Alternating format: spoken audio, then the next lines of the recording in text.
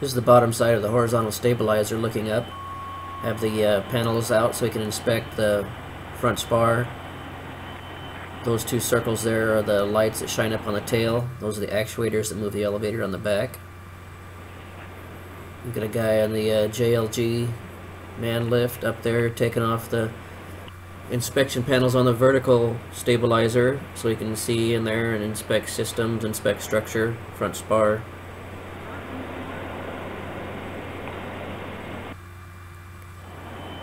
Here's a guy from the other side. He's just getting started on there. This is a day or two before that last one. This is the auxiliary power unit called the APU. It's a little jet engine. It's not that small actually. It's quite big.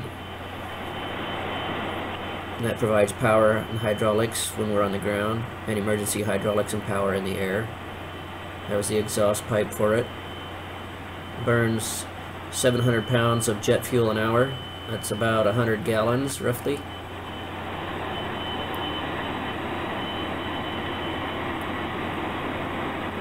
That's all the way in the tail there. There it is, standing forward, looking back. APU. The doors are open so we can inspect it. That's the entrance just forward of the horizontal stabilizer. Here's the entrance just behind the horizontal stabilizer. You can get to both sides of that center section. We, that's shown in another video inside that area. Shown in one of my other videos. Panels removed on the horizontal so we can inspect the front spar and rear spar, actuators,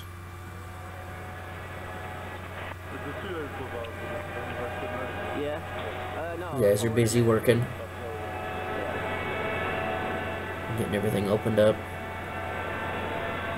Takes quite a few days to take off all those panels.